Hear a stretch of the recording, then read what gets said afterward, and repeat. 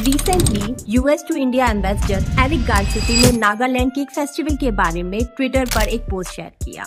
ये फेस्टिवल हर साल दिसंबर के फ़र्स्ट वीक में मनाया जाता है, जहाँ पर नागालैंड की डिफरेंट ट्राइब्स के म्यूज़िक कल्चर एंड फ़ूड को शोकेस किया जाता है। इस फेस्टिवल ने अकेले नागालैंड के टूरिज़्म को 30 परसेंट से बूस्ट किया है एंड इस फेस्टिवल का नाम है हॉर्नबिल फेस्टिवल।